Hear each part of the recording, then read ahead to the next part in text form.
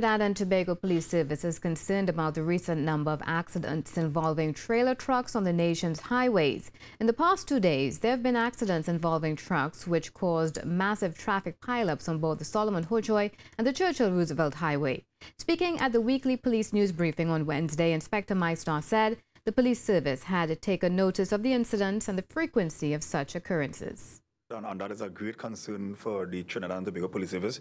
I know for a fact that the Highway Traffic Branch unit will be paying special attention um, to those activities in, as it relates to those vehicles, uh, trucks and trailers and so on, and as it relates to our escort um, tactics, the inspector said the police have taken note that there have been many transport vehicles which were in contravention of laws with regard to the securing of items on transport trays and trailers.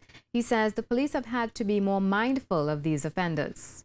All the necessary security measures that a truck may need to take, for example, you have some trucks will be carrying like, like gravel and it's not properly secured.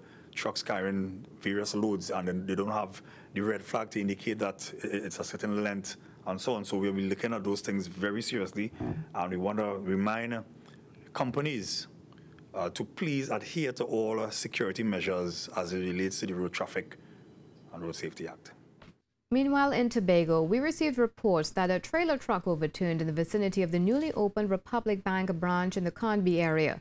The accident created massive traffic along the highway, but there are no reports of injuries. We understand the Scarborough police are investigating the accident.